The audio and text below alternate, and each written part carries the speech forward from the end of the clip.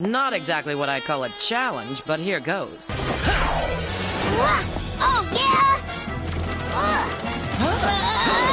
This exciting grudge match is off and running, or should I say flying? You're not bad for an amateur. Watch out, boy.